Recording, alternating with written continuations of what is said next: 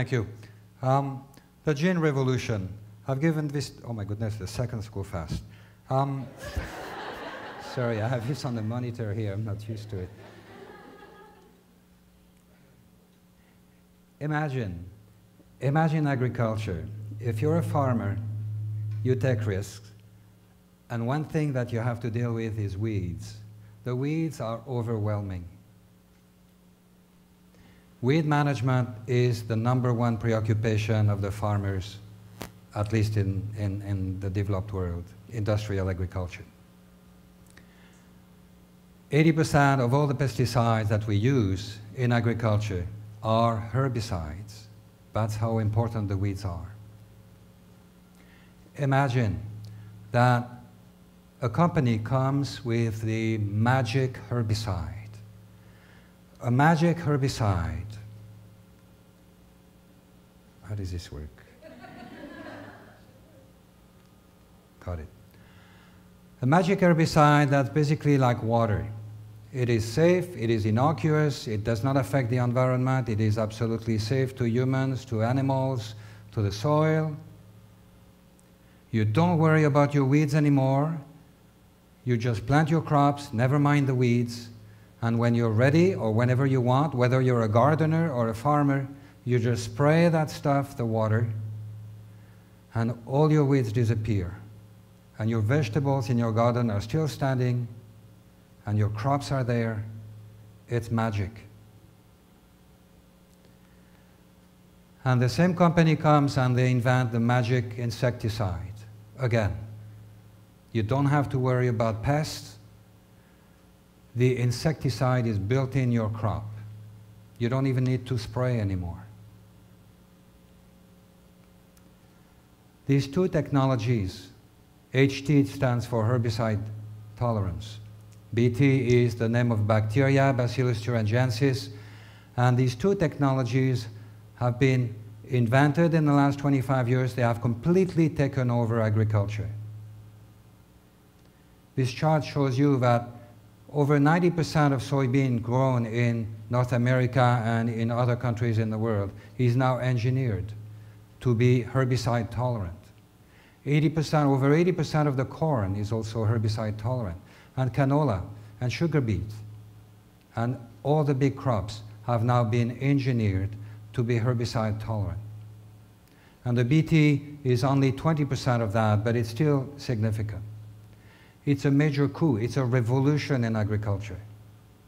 And all the farmers have adopted it, obviously, because it is so magic. It has simplified their life, and there's very little risk anymore with, with weeds. 25 years ago, and I was part of that, 25 years ago, when the technology became important, it was, a, it was like a green technology. It was going to allow us to perform miracles, to have plants resistant to insects, to nematodes, and to do many other things that were really quite significant.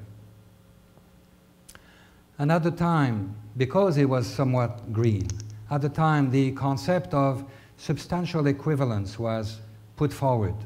Basically, the technology involved just taking a gene from an organism, it could be a bacteria or a fish, or it doesn't matter where from. You take a gene, you take a piece of DNA, and DNA is absolutely not toxic. Take a piece of DNA and you put it in the plants, and you grow the crops, and the magic happens. And that's substantial equivalence.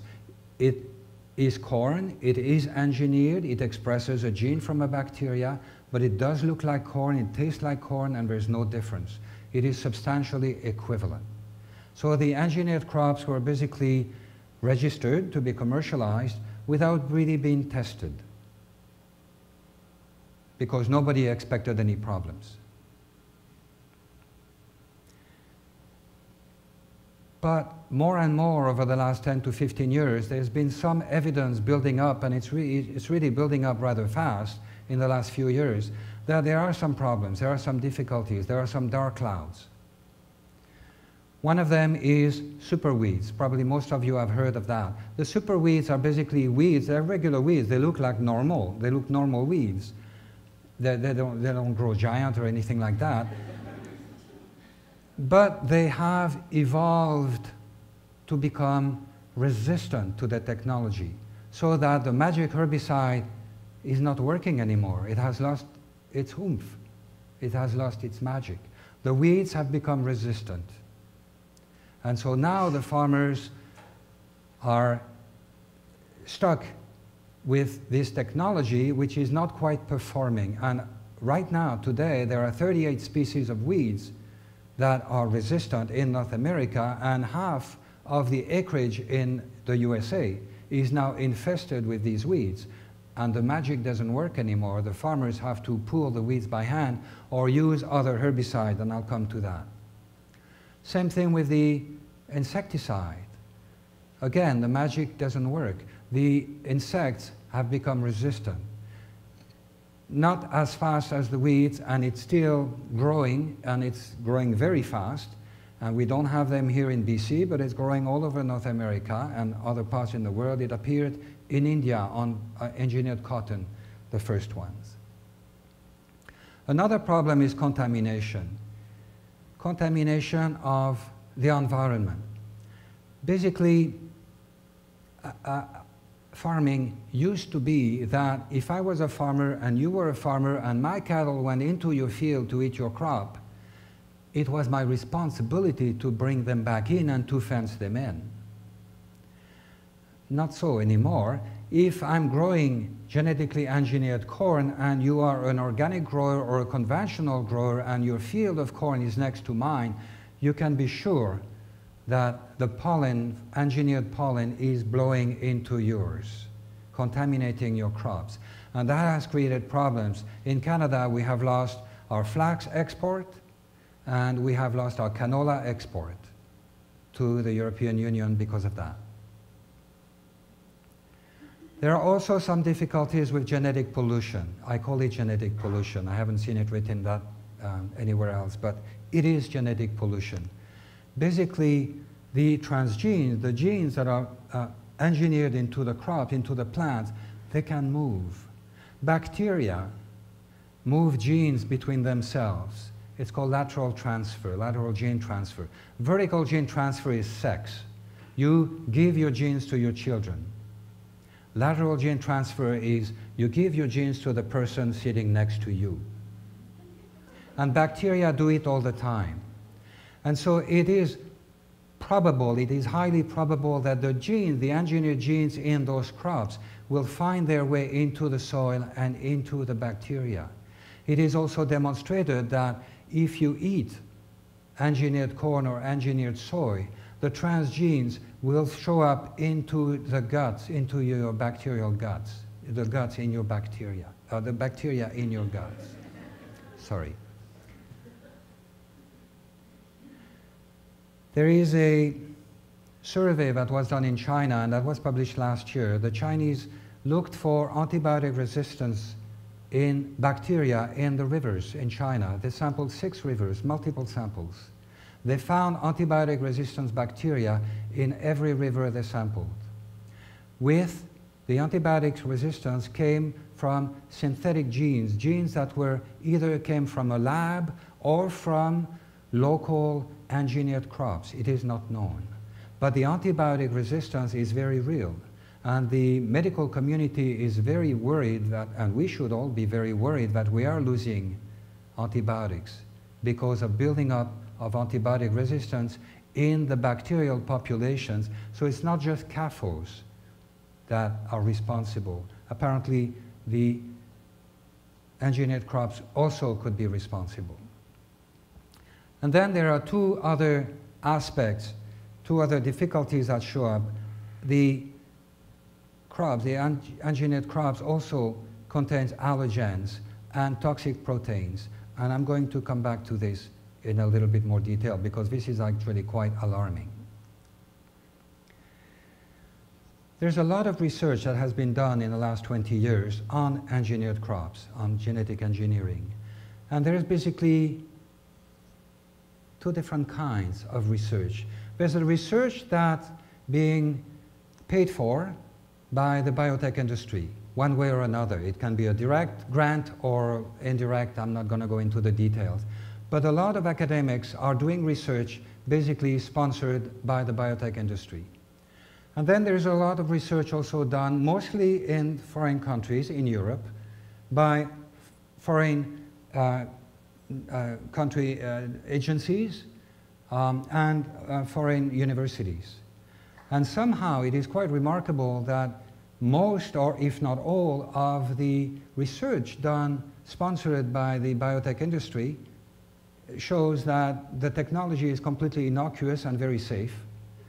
And most, if not all, of the research done elsewhere shows that there are serious problems and these technologies should be thoroughly reviewed and tested before it is put on the grocery shelves. In 1996, the scientists of the Food and Drug Administration, 1996 is the first year when the crops were commercialized by Monsanto. And the FDA scientists were all in agreement that the engineered crop could or would bring allergenicity, toxic proteins, nutrient deficiencies, and other problems. That's documented, that's published. Two years later, I was in Edinburgh in Scotland for a conference, a nematology conference. And during the conference, there was a bit of brouhaha. There was a scientist in Scotland who had come out on TV and he had been doing toxicity tests. He had seen that his rats, he had fed rats um, uh, potatoes, engineered potatoes, and, he's, and for, he had done that for several months. And, and after several months, he looked in, inside to see what he found, see the, what the effect could be. And he found very alarming results. He found definitely damage to organs. He found damage to the intestine, he found damage to the kidneys, to the liver, to the brain, and the testicles. He was very alarmed. He went on TV to talk to the public about it, and that created quite a scandal. He paid dearly for it because it's a sin, it's, an it's a, a a mortal sin for a scientist to talk about his research before it is peer-reviewed and published, he was, he was fired the next day. Government experts were hired because there was a huge uproar in the uh, scientific community. My goodness, time is going fast. I have to speed up. Um, there was a, a, bit of a scandal. He, his research was shown to be, by experts, was shown to be lacking and he was given back his papers because his lab has been closed and his, uh, his papers confiscated.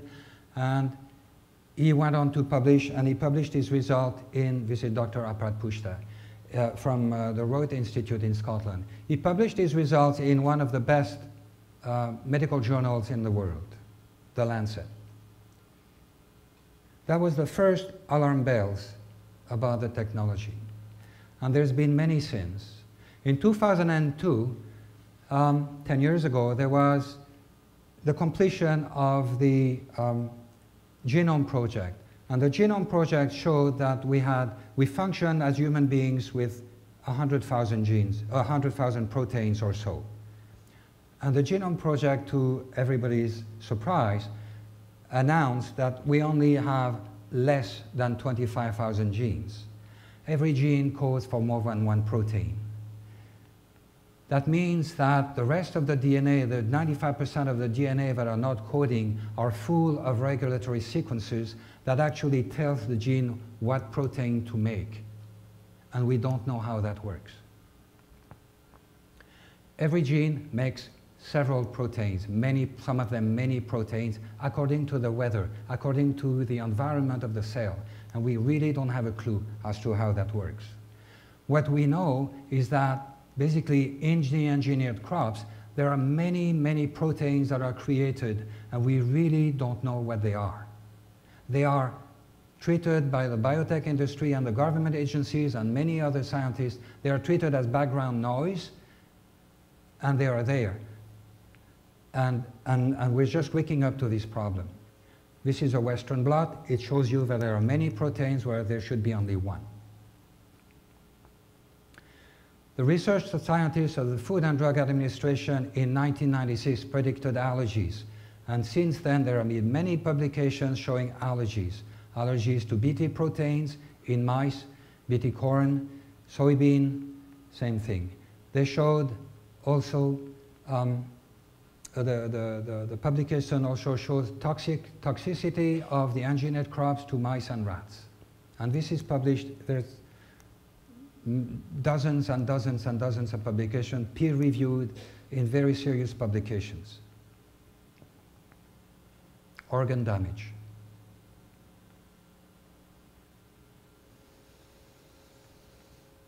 So I don't know what the future of agriculture is, and I don't know what the future of the gene revolution is, but I am very concerned, and that's why I'm here.